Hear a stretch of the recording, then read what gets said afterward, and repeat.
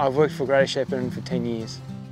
I used to spend days um, pruning trees, uh, planting trees and removing if required.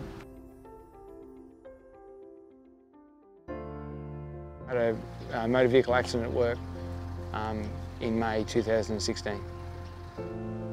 I broke both my legs um, from my knees down and my right femur. I spent three weeks in the Royal Melbourne Hospital. I had four operations there and then from the Royal Melbourne Hospital I went to uh, Epworth Hawthorn Rehab Hospital where I spent three months transitioning from being bedridden 100% to walking out on crutches. I learnt about owning my injury and understanding my injury and getting my head around it. Chris's case from the start was very different to many others that I'd worked on. He was positive from the very first phone call. He was enthusiastic, one to get home, but also to accept his injuries. But in his own head, he was working through that he was still not going to let this stop him from living his life.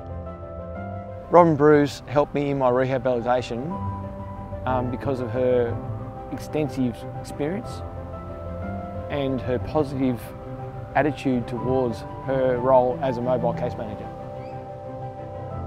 So I enjoy being a mobile case manager because you're able to get out face to face. Um, the cases that we're on are, are often more complicated and that face to face personal meet and greet, you achieve a lot more from either the service providers, the, the workers, the employers, and everyone working together along with the case manager in the office as well. Returning to work was great for social interaction with my old work crew, good for my mental stability, as well as good for my partner because I wasn't at home all day and getting stale. My old normal and my new normal is what I just had to adjust to. And that's what today is. I'm, my new normal is office-based.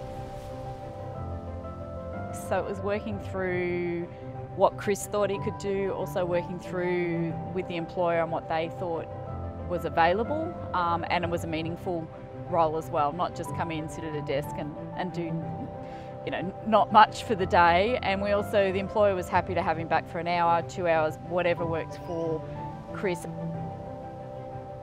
When you own your injury, you accept it and you try and build what you are to what you want to be.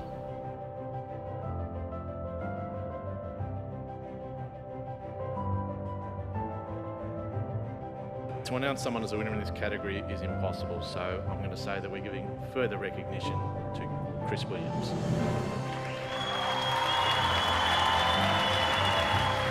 To be acknowledged that I've done good was a, a really good feeling.